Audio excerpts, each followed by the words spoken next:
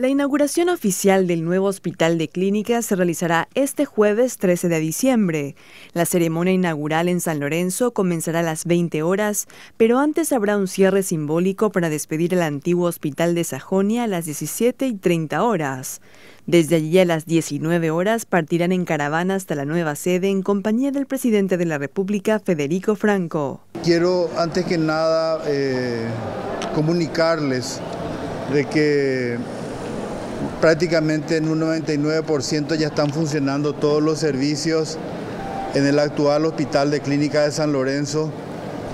Eh, estamos puliendo algunos detalles finales, pero ya los servicios están organizados, las cirugías se están realizando normalmente.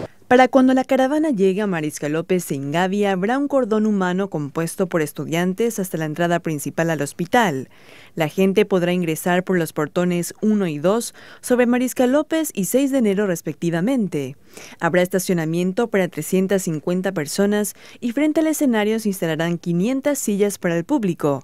Se espera la presencia de 2.000 personas. Hay una diferencia que quisimos dar y queremos remarcarle, que el hospital se inaugura funcionando una importante diferencia con el resto de las inauguraciones que estamos acostumbrados. Este hospital se inaugura funcionando y demostrando la dignificación a los pacientes, que era la idea primaria. Por cuestiones de organización y montaje, informan a los usuarios que este jueves 13 de diciembre habrá sueto en clínicas, por lo que solo se atenderán en los sectores de urgencias e internación.